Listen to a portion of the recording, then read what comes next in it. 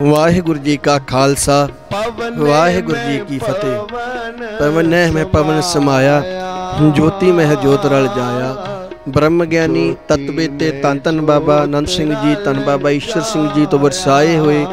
ਬ੍ਰਹਮ ਗਿਆਨੀ ਧੰਨ ਧੰਨ ਬਾਬਾ ਸਾਧੂ ਸਿੰਘ ਜੀ ਦਾ ਸਾਲਾਨਾ ਬਰਸੀ ਸਮਾਗਮ ਮਿਤੀ 13 ਮਈ ਤੋਂ ਲੈ ਕੇ 15 ਮਈ ਗੁਰਦੁਆਰਾ ਨਾਨਕਸਰ ਸਾਹਿਬ ਕਲੇਰਾਂ ਵਿਖੇ ਬੜੀ ਸ਼ਰਧਾ ਭਾਵਨਾ ਦੇ ਨਾਲ ਮਨਾਇਆ ਜਾ ਰਿਹਾ ਹੈ।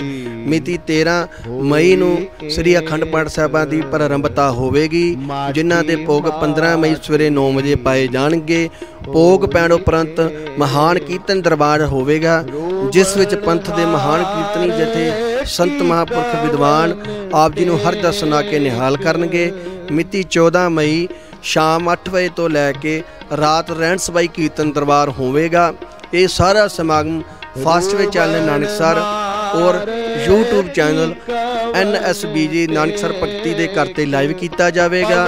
ਆਪਾਂ ਸਾਰਿਆਂ ਨੇ ਹਾਜ਼ਰੀਆਂ ਭਰ ਕੇ ਗੁਰੂ ਘਰ ਦੀਆਂ ਖੁਸ਼ੀਆਂ ਪ੍ਰਾਪਤ ਕਰਨੀਆਂ ਹਨ ਜੀ। ਵਾਹਿਗੁਰੂ ਜੀ ਕਾ ਖਾਲਸਾ, ਵਾਹਿਗੁਰੂ ਜੀ ਕੀ ਫਤਿਹ।